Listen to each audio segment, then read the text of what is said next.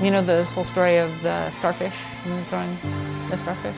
A person walks up on another person and uh, they, they see that person is picking up starfish on the beach and throwing them in the water and they'd walk to the next one and throw it in the water, walk to the next starfish, throw it in the water. And they're just walking the beach, picking up starfish, throwing in the water.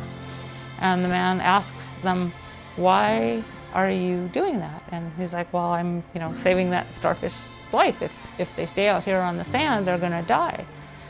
And the man looks up and down the beach and says, there are miles of beach and millions of starfish. How are you gonna make a difference? And the man picks over and picks up another starfish and throws it in the water and said it mattered to that one. What we want to do is make sure that we're always tossing the starfish back in the water.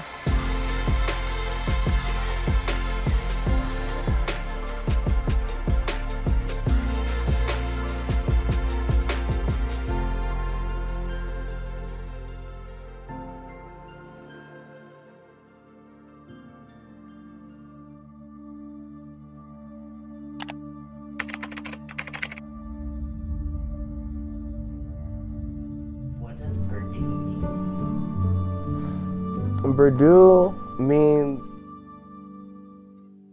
okay, Berdoo means a lot, honestly. Like, it starts with the people. They're really resilient. They're really resilient and they're really strong people. It's awesome because you can help people change. And if people don't have the guidance there to change, how could they? I've grown up in San Bernardino my whole life, being a student in San Bernardino School District, uh, I can't say it was easy, but I do see improvements for my children, which is really exciting now being a mom and looking at my kids. You look at things differently, and it's really exciting to see the progression that the school district is making and the strides that you guys are making for the kids. If we invest in them, they're only going to invest back into us. If it's not, if we're not taking care of them and looking out for them and providing a way for them, how are they going to do anything for themselves in the state? You know, we want our kids to to be excited to to get college applications and to be excited to hear about acceptance and stuff like that. I think that that's the things that we need to get back to being important for our kids is furthering their education, not just getting past fifth grade, not just getting past eighth grade, not just getting past ninth grade, but actually making it further and making a career and a future for themselves that can turn around and give back. With the 102nd pick in the 2000, 2019 NFL Draft, the Minnesota Vikings select Alexander Mattison. My name is Alexander Mattison. I'm currently a running back for the Minnesota Vikings. So uh, some of my favorite memories from being at San Bernardino High School um, was just being a part of a culture where we could be ourselves and the student body was together. I feel like um, especially my class, the 2016 class. Pretty much, you know, when we had our events, we had rallies, we had everything like that. It was it was fun to be a part of, and we were able to be together as a student body. Do you have any cool memories from any of your schools? I'd probably say football. That was a big part of um, me and my time here, and definitely would say that growing with those guys, my teammates, and my coaches, um, was something that you know I won't forget. So this is your old stomping ground, the Yeah. 110s right here. I remember, long though- jump right here. I Was it dirt you- when you were here still? Yeah. Oh Yeah. yeah. It was beat up. It was Yeah. So what was it that you jumped in these pits? I forget how far. 22-9. 22.9, man. Yeah. Wind aided. That No. was that was and that was here. That was, How, how was the AP experience here at the school? Did that was Rough. that did DI? Prov- oh, it was rough. yeah, it, it was tough. And I think the AP classes, the honor classes, Yeah. being a part of the dual immersion program, Right.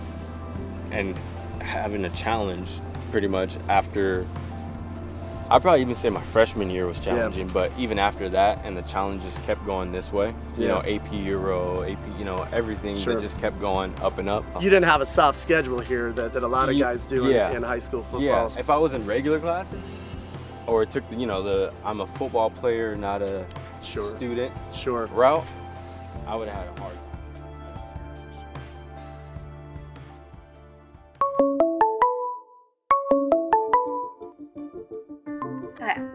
How are you doing? I'm good. My name is Marlene Baikendova, and I am the Director of Positive Youth Development in the San Bernardino City Unified School District. I have 20 years as an educator in the district, and I spent eight of those years as a middle school principal. We work with students who are chronically absent, and we have a ton of different efforts and programs to help students have, have positive attendance. So, students who are chronically absent are students who are missing 10% or more of the school year. And as research shows, missing 10% or more of the school year has a profound impact on students' academic abilities, but also their ability to even um, keep up with their peers. And so, uh, really, we, we aim to reduce chronic absenteeism as a district. And for us, attendance is everyone's responsibility. Uh, so my name is Briseida Argueta. I'm a youth service specialist here for the Positive Youth Development Department. Um, I have 16 schools assigned to me that I oversee their attendance and we schedule students that are having attendance issues. Um, when they have more than 20 absences, we schedule them to come into our office so we can meet with the parent to try to figure out a plan so that the students start attending school. And for us, there are many, many reasons why kids are chronically absent. And looking at the research, it shows that all of those reasons can be basically categorized into three areas. And so, for one, uh, we have uh, barriers, the other one is aversions and myths. Even missing a few days of month, a month adds up to a lot of instruction. So, what we have is we have kids that are just further behind than they should be in such things as reading and math and um, basic basic things they will need to be successful to get their diploma and to be successful in having a good job someday.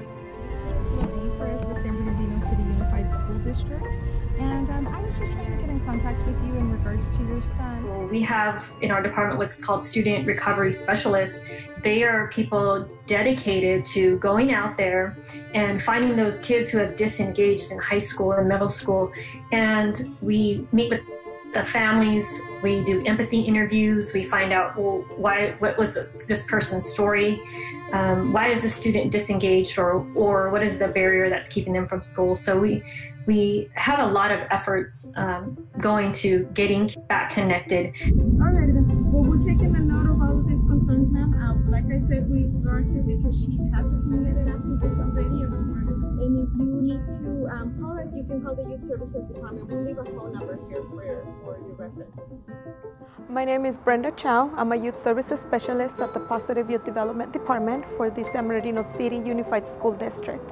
At the scope of the work I do, I work with students that are chronically absent by meeting with them and their families and try to um, encourage them to improve their school attendance. Our board calls the families and the students in for a meeting according to the Ed Code 48200, which says that every single student from the age of 6 to 18 years old is required to be present in school on a daily basis. So whenever we have students with excessive absences, we must do something as a district to try to get those students back in attendance. We're not there um, to punish you. We're not there to say you're a bad parent by any means because you're not taking your kids to school, but we see that your kid might have some problem attendance. How could we help? These are the resources that we and the community could offer. A lot of our employees in our department have contact with parents, including myself, and we will learn about the different barriers, the aversions, the myths, and the reasons why they might be struggling either academically or with attendance or, or grades or even behavioral.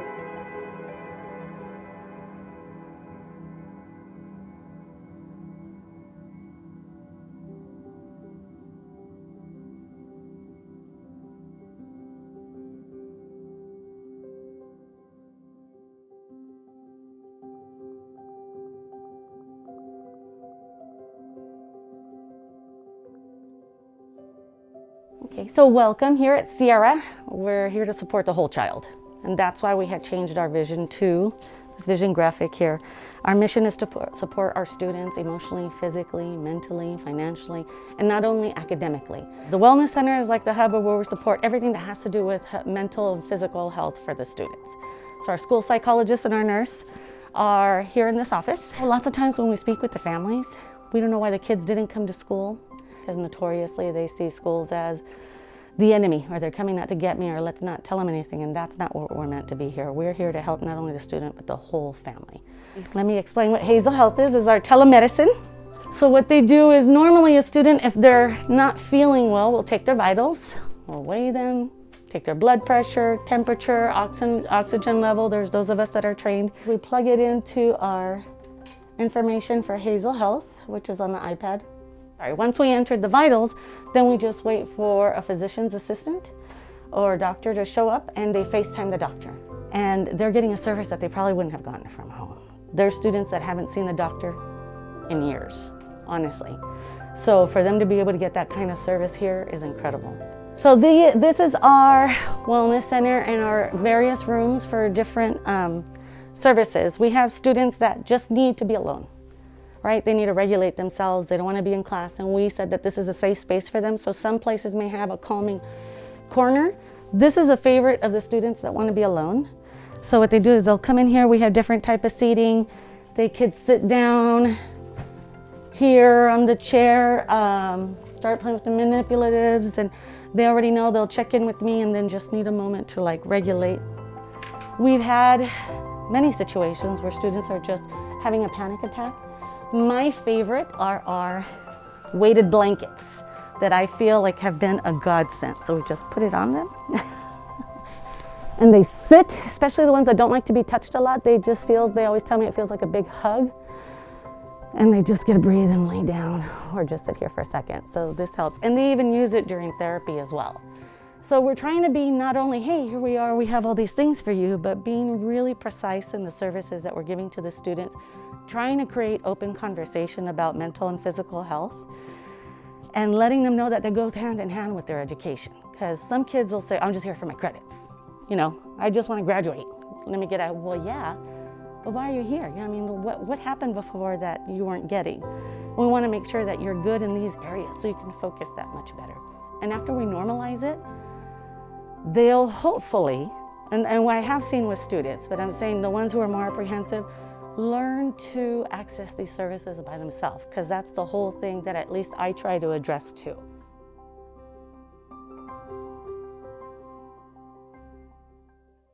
The city of San Bernardino is ranked as the third most dangerous city in America. Five homicides and two attempted homicides, all in the last six months. All in the same part of San Bernardino.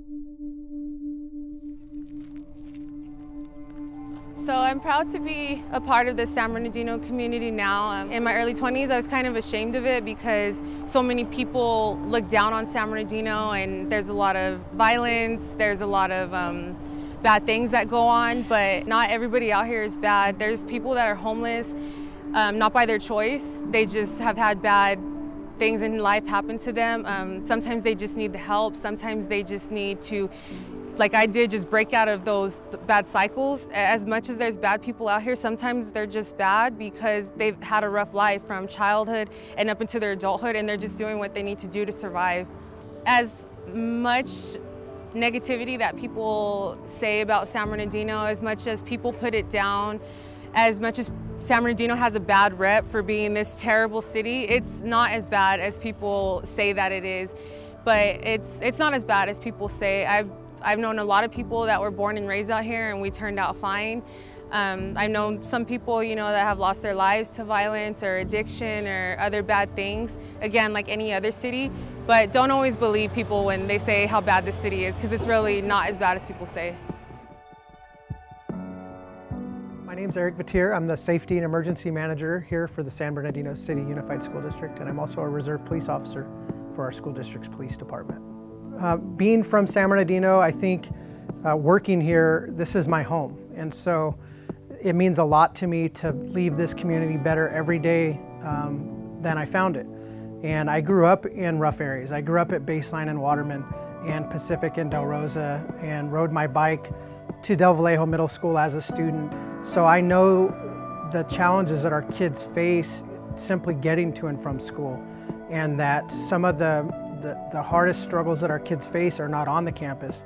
It's making sure that they have food in their stomach when they wake up in the morning and safe paths to get to and from school. And so it's really important for me, being a product of San Bernardino, to do my best to make sure that those barriers are removed so that our kids can get to school safe, they can feel safe while they're there, they can focus on their education while they're on campus, and then we can get them home uh, in a safe manner.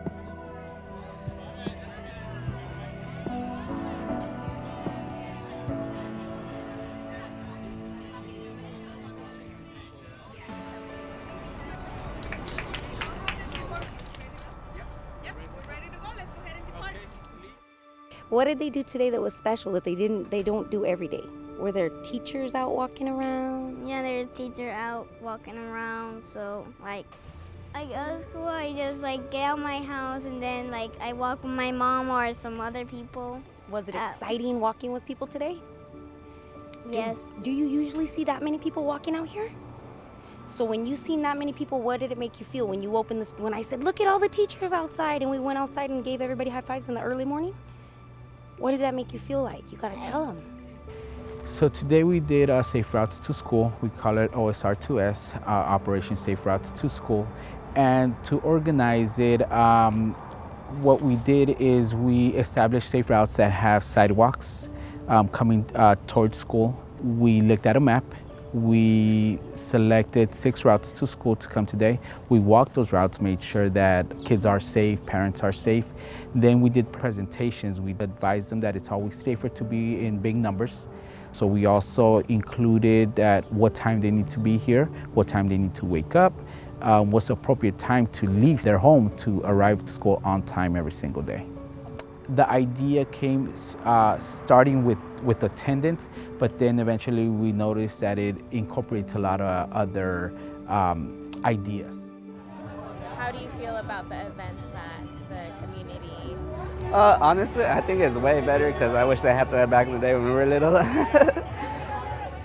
but I'm glad that the you know the school is actually getting more and more into the community now. I've grown up in San Bernardino my whole life, being a student in San Bernardino School District. Uh, I can't say it was easy, but I do see improvements for my children, which is really exciting. Now being a mom and looking at my kids, you look at things differently, and it's really exciting to see the progression that the school district's making and the strides that you guys are making for the kids. In the long run, we're hoping um, to continue doing this with all our schools, maybe designate a specific day to walk to school. Uh, but hopefully we're trying to empower the parents.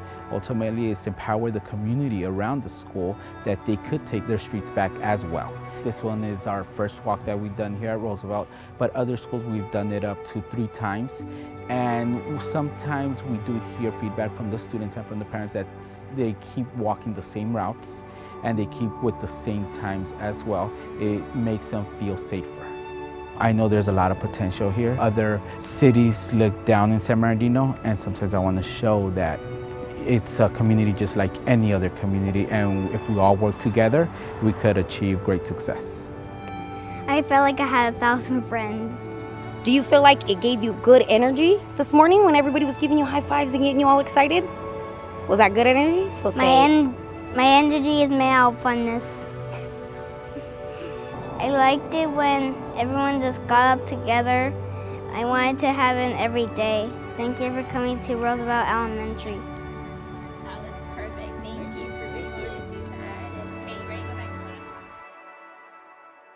Uh, some of the struggles of getting to school um, and even like wanting to go to school and all of that, I think has to tie into a lot of the responsibilities that some of these kids have outside of school. So you said there was a time where you were struggling a little bit with school and stuff. Yeah. So it stemmed from you know my mom losing her apartment. Mhm. We ended up homeless. From there, we were kind of jumping around with family friends, or I was staying with a friend or whatnot, still going to school though. Um, it started becoming hindering around junior year. Um, my sophomore year, things got rocky, so my grades literally went from like A's and B's to C's, D's, and F's. And as that got lower, my attendance got worse. And so eventually, like, the predicament of walking for me was a debate. Like, after school, it was straight to work. So 11 o'clock at night, it was like I have homework to do.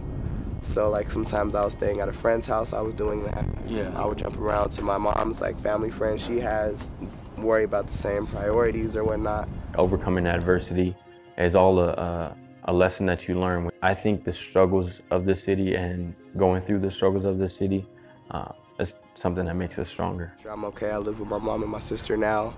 And so everything's kind of back on track. Everything's running smooth. It's just making sure that I do what I got to do. You know, you're in a situation where you, your mom and your sister were going through adversity. And now you're on the better side of things. You have a plan going forward. You have a future to look forward to. And that's just, you should be proud of that. And that's, Yeah. that's a blessing to be in a situation now where you can smile about your day. You can smile about Exactly.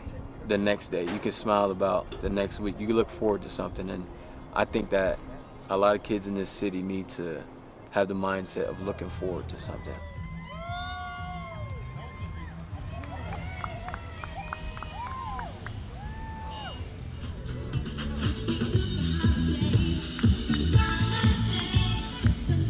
Congratulations to Jalen Tate.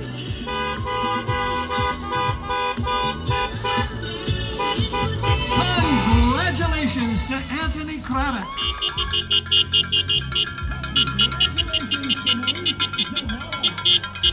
My name is Dr. Antoinette Gutierrez, and I am currently the principal here at San Bernardino High School. And how long have you been principal? Well, this is my fifth year. Fifth, this is a very strange year, but this is my fifth year. I'm just ending my fifth year. Joseph, I've known since he was a freshman. So he's more like he was he was petitioning in my office, trying to get a dance club going. I'm like, find an adult. I mean, seriously, from the get-go. And so he has come and gone and come and gone so frequently, um, but he's always been. Um, I've always known him personally, and I've known his story. I've picked him up from places when he stayed at other people's houses, you know, and took him to school. Um, I asked him to be on the on my uh, principal's advisory, you know, to involve him to get him close because he has a great voice, and so um, that's really the difference.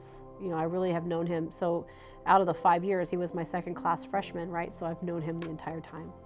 The moment he opened his mouth and started talking, I knew there was something different about this kid.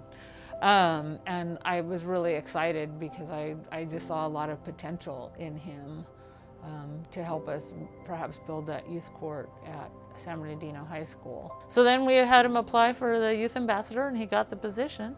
But he got to lobby Congress. Yeah, that was awesome. It was awesome, the, you know, the fact that I can see, um, you know, Congress representatives and speak my mind towards things that we felt needed to be implemented, not just in my state, but other states. So as you may know, my name is Joseph Reed. I'm 18 years old and I'm from San Bernardino, California. I'm a senior in high school and I will graduate this June. looking out at them, like when you say those words, will you all promise, right? It's because you want them to. Be intrigued. Yeah. Well, you want them to commit. Like you want to know that. Xenophobia Mhm. and bigotry. Yes. Will you stand up against all forms of oppression, sexism, racism, biphobia, xenophobia, and other forms of bigotry? Yes. Then stand up. Stand up for kids like me.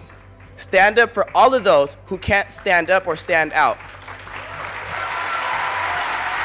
It, it- was just good knowing that you were able to make changes and to have all these other leaders around you and ambitious mindsets around you. It was like to grasp the concept of actually growing and developing not just yourself but your community or your states. It just felt it felt awesome, you know, that we're here to make changes and so it was just more of a push for me to take this whole HRC thing serious. Like I know right now we can't go back to school, but it, the scariest thing about not being back is not being able to have contact, regular contact with my students. This is approval of the emergency declaration COVID 19. All right, so the recommended action is approval and resolution declaring emergency conditions exist at San Bernardino City schools and offices and authoriza- authorizations to take any and all necessary actions to prepare and respond effectively to the novel coronavirus COVID 19. So, what one thing we learned during this COVID quarantine time and the need to switch to distance learning is that kids with great attendance during the school year are doing outstanding at connecting with their teachers online, doing their work. Really, they have that work ethic already there and they're really pushing. It, it is much harder for us to connect with those kids that were already having problems being engaged. So typically we would do home visits, we would come find these kids, you know, we're talking to the parents, and it has been much more difficult to be able to do that during COVID but the efforts are still there.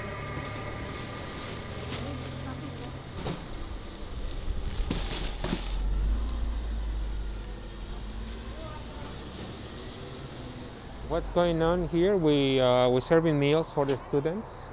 This is the summer session 2020, uh, and we're serving roughly about uh, 625 average meals we're here to help the people that really needs some help.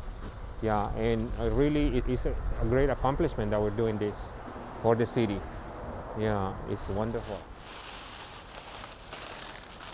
These are the meal entries and these are the breakfast breakfast items.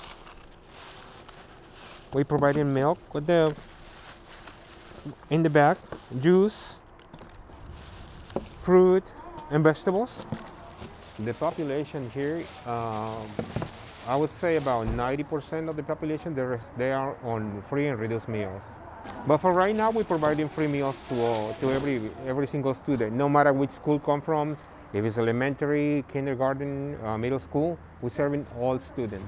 Yeah. If, they, if, the, if the family request, if the person requests for five meals, we provide five meals.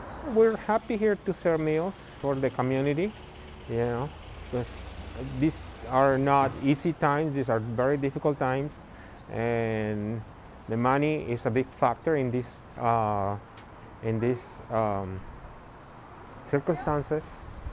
And providing meals for the students is a great thing to do. Yeah, we're helping our community. Yeah. That was perfect. You know, we do everything possible we can to really re-engage um, our seniors and re-engage our students during this time. Our, we had schools really making sure that kids have devices and their um, hotspots. There's just so many incredible efforts from across the district to re-engage kids during COVID. We didn't let that stop us. We continue to uh, really push to, to keep kids engaged and keep kids involved during this time. My name name's Amner Porter. I'm a senior right now. Um, I'm about to graduate in a couple weeks. my name's Alejandra Carvajal. I'm a senior. I attend San Gorgonio High School. Yes, my name is Adrienne Cook. I teach kindergarten in San Bernardino City Unified School District. Okay, I'm going to pull up the questions I sent you. Okay. All right, cool. Oh, for sure. Do you think in general people are valuing school a little bit more and understanding you know, kind of like day in and day out, the um, the impact that school has on them. Learning at home is very different to having a teacher show you up on a board or hands-on learning than to just learning through a computer. It's a very drastic change, but I feel like we all somehow got used to it, but it's not the same as having a teacher help you. At school, it's it's very easy to, to be like, oh, I gotta go to class because the class is right there. You don't have the idea that, oh, I could be out making money right now, or I could be out utilizing my time to do things that I want to do. How about instead of all of this, about I look for a job and save up some money for college or um, just better utilize my time. I do have 24 scholars, but I've really only seen about 16 consistently. So that's two thirds of my class. Um, I would love to see the other eight more often, but for whatever reason, I don't. And those reasons I know at kindergarten level are because of the parent not getting up and saying, Oh, it's time for your 30 minutes of instruction with Miss Cook. It's time to see Miss Cook for 30 minutes. Um, they're not emphasizing that, they're not making it a, a priority. But the bigger detriment, of course, is not being able to go to school every single day because of COVID 19. We really want to make sure everybody is safe. We don't want anybody to get this illness. I personally do know people who have contracted the illness. I personally do know of people who have died. When we open schools back up, it's going to be critical to be on top of attendance. We are, are already prepping to respond in the first week when if students are not showing up either physically or if we do a hybrid type program, we need kids to be responsive virtually and participate. And, and we're already setting up those systems so that we can respond and uh, approach kids that are having any barriers, aversions, or myths, and, and we will respond accordingly. So we want to change that. We, we don't want the divide to get bigger between San Bernardino's kids and, you know, a, a upper middle class city. We want the kids to perform at the same um, high level, and in order to do that, we need to keep them engaged, and it's it's more important now than ever. Introduced ourselves. So maybe um, if you guys want to start and talk about first going to youth court and meeting with. My name is Jenna Yulo and I'm graduating from Sierra High School. I started off um, at Pacific High School. Um, slowly after that, I started to mess up and I became um, less involved. Uh, my name is Monique. Um, I have a student that goes to Sierra High School. Um, I live in San Bernardino. Pretty much just grew up out here. Um, I lived in the streets for about 13 years, homeless, drug addicted, um, with no sense of love, self worth, no support. Pretty much, I just, everybody I knew was in that environment, and I just thought that that's what my life was destined to be, that I was going to die out in the streets. Um, how does your experience help you relate with your kids as they're growing up, but um, especially with Jenna? Wow. Um, so it was a real kick in the butt. um, Jenna gave me a run for my money. I got her back when she was 13. I didn't raise her. I was in and out of her childhood due to my own addiction. Um, when I got her back, she was struggling with herself. So when I went to Pacific, I had I was doing really good, um, but I started hanging out with the wrong group of people. Um, they were doing things that weren't okay. I was always growing up looking for my father, fatherly love, looking for attention. Um, so I veered in that direction. Um, so I was pretty much a follower, not a leader. I feel it was peer pressure. And at the time, I wasn't a leader. I felt that I was a follower. So I did follow whatever they were doing, um, no matter what it was. One of my friends is what introduced me to uh, the youth court system. Um, they were going through it with their with their child, and I was just venting, like I don't know what to do, I don't know how to help anymore. I'm I, I just I want to give up, um, and that's when I met um, Miss Mickey. So tell them how you felt like when you first walked in the office. So the first time I got to the youth services office, um, I was very upset. Um, I didn't know that um, that's where I was going because I had just got out of school. And I looked at her with like the meanest look. much. I didn't want to be there, so I was doing whatever I could. Um, this way I didn't have to talk or I didn't have to say anything. I met Mickey. They called her, her in, um, and like I said, it was different. There was a different vibe in the room. Um, she was one of the people who never gave up on me, no, no matter what. Uh, she stuck around with me, and now I'm here. Um, I'm graduating a whole year early, and I have a lot of thanks to give to her. Whenever I needed help or whenever I was going through an issue with Jenna, I'd haul her butt down to the youth court office and we would do like an intervention. Um, we put her in youth court and it changed her. It made her um, open her eyes and see the person that she was. And she's just done a amazing turnaround and I'm so proud of her. Um, she's graduating in a few weeks, which is awesome. Like I never thought I was gonna see the day. Like I really didn't. Um, and being a parent, that's pretty sad, but that's an accomplishment that I want to see. You know, um, to them it may not mean a lot, but to us as parents, it's it's it's a one thing that we also feel accomplished for.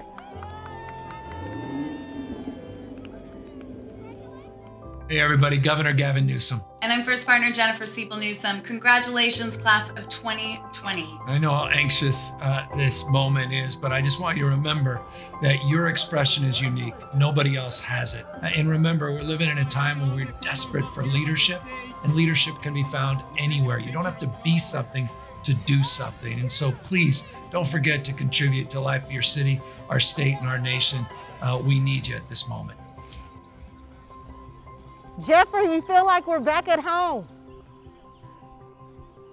Huh? I do. It's like I feel like the lunch bell should ring right now. so growing up in San Bernardino, I mean, it was a really fun time for me. Um, that was when our, our malls were open and we can ride the bus and go to various places. So for me, it was exciting. And all of my three brothers, we all went to the same school and have been in the city for all of our lives. So attendance to me is so important. Um, I always tell my kids um, who also were a part of this district and now in college and a college graduate, is that when you don't show up, that's a day in education that you'll miss and you'll never be able to make it up again. And in San Bernardino, we have been resilient, regardless of what has happened, even now, as we are facing the pandemic and we're facing some other uglies in the world, San Bernardino has continued to be resilient through rebuilding, through working together when times are tough. And that's one of the reasons why I stayed. I wanted to continue to be a part of the solution and not the problem. Okay, great. Um, and I think I'm ready if you're ready. I think I'm ready, girl. Hello, my name is Vicki Lee. I'm one of the homeless liaisons for San Bernardino City Unified School District. Our the name of our program is Atlas, and that is access to learning for all students. So basically, what we do is we, we reduce barriers in order for students to attend school and be successful. So there's a lot of abuse that that we've that we've heard, um, and um, our kids have to deal with a lot. Our kids are very resilient. They're survivors, and that's the reason why we we try to have as much patience and be there because a lot of times it takes a minute to be able to connect. And you have to have the patience to be cursed out, to be told, leave me alone. Um, but you just have to persevere like our kids are. You have to keep on and keep on and keep on and pray and pray and pray and know and know that if you do what you're supposed to do, somehow, somewhere, you'll be able to get to that toughest kid. Because underneath that, that kid is trying to shield all the hurt, all the pain, all the suffering. I'm so sorry, but when I think about our babies and some of the things that they have to go through, and I think about our team, I just feel so blessed that I'm with a group of individuals that care so much about the students that we serve and their families. I just feel so blessed to even be in this position. Thank you. Thank you for sharing that. This is an inspirational message from Superintendent Dale Marsden. Tonight, since this is my last meeting with you, no one anticipated it would be Shebang, huh? like this. but uh, here we are. I'm so proud of our entire San Bernardino City unified team continuously believing we could be better and now seeing we are better is such a wonderful gift. I've taught my children to leave a place better than you find it. I'm truly a grateful man and hope that we've done that here. And I look forward to what might lie ahead and will always, and uh, SBCSD will always have my heart and be in my DNA. You will remain in our prayers, and we will continue to be this district's greatest cheerleaders and champions. I have every confidence great things are in store for the future ahead. So I just want to thank you. Thank you you know, I think um, the, the greatest investment our community has is its children. I often say that uh, there's just an untapped commodity in our youth. There's always stories that are shared, um, challenges that students face, yet what I hear resoundingly from them is that those stories, their drama, their trauma, their challenges they face, their poverty they live in, is not what defines them.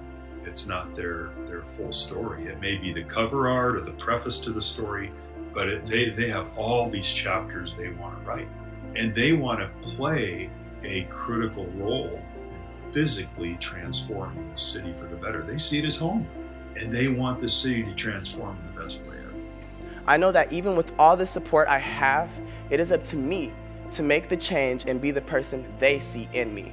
I think this is being videoed, and I hope so because I'm making a promise to myself. I will excel. I will be a voice for the LGBTQ plus community and for those who are less fortunate and can't speak up for themselves. I done made a speech that thousands have seen and they didn't heard the promise. I can actually speak forth now and say that I did that. You know, like it happened. For a screw up, most of the time you don't have a second chance. You know, and um, I, I made it. You know, April came and I turned 19, and so, you know, I find out in June.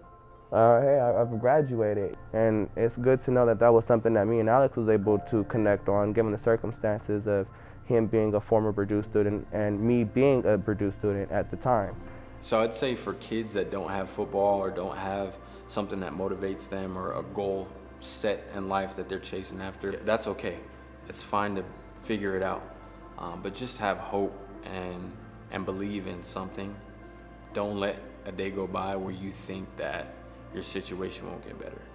I want to make sure that every student feels supported, that every student knows that they can change the direction of their life, that one mistake doesn't mean your life is over.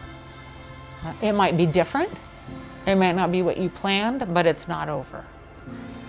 And so every day I'm out there tossing as many starfish back in the water as I can and finding other people to help me throw starfish in. You know, everybody says, well, you know, there's miles of, of beach and millions of starfish, you know. How are you going to make a difference? But if I have more people with me tossing in the starfish, we can reach even more. Everything I've done, whether it be supporting teachers or supporting students, has been to make sure that, everybody around me can throw those starfish back.